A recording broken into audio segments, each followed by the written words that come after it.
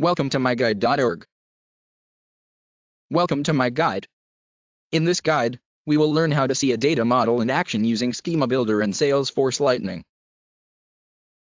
Click on Gear icon. Click on Setup. That opens in a new tab.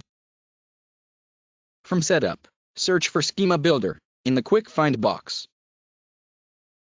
Click on Schema Builder. From here, you can select objects, which you want to display on the builder. In the left panel, click Clear All. Select Contact. Select Product. Select Order.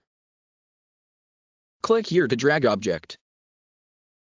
You'll see something like this. Notice that you can drag these objects around the canvas.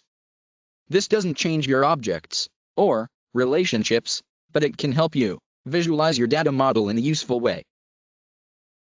Thank you from myguide.org.